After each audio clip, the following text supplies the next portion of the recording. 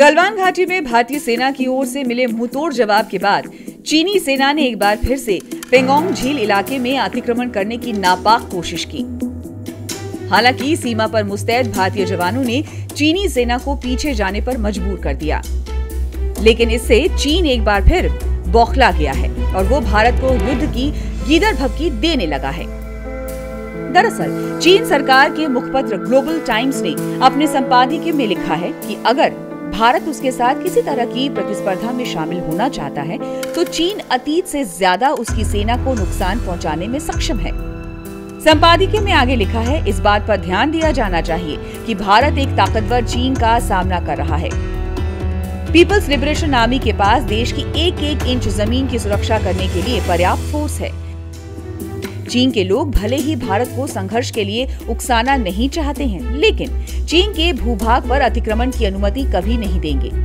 चीन की जनता अपनी सरकार के साथ मजबूती से खड़ी है। संपादकीय में भारत को धमकी देते हुए लिखा है, अगर भारत किसी भी तरह की चुनौती देना चाहता है तो चीन के पास भारत के मुकाबले ज़्यादा हथियार और क्षमता है। अगर भारत सैन्य क्षमता का प्रदर्शन करना चाहता है तो पीएलए भारतीय सेना को उन्नीस से ज़्यादा नुकसान पहुँचाने वाली है। पेंगोंग लेक में हुआ संघर्ष दिखाता है कि भारत ने गलवान घाटी में कोई सबक नहीं लिया। वो अब भी चीन को उकसाना चाहता है। वहीं भारत को अमेरिकी समर्थन पर संपादकीय में लिखा गया है कि भारत को अमेरिका के समर्थन को लेकर किसी भी तरह का भ्रम पालने की ज़रूरत नहीं है।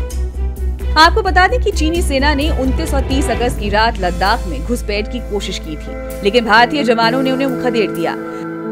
लद्दाख में दोनों देशों के बीच ताज़ा झड़प पेंगोंग झील के दक्षिणी किनारे पर स्थित एक चोटी को लेकर हुई। चीनी मीडिया में इसे लेकर तीखी प्रतिक्रिया देखने को मिल रही है और वो भारत को धमकाने पर उतारू हो गया है।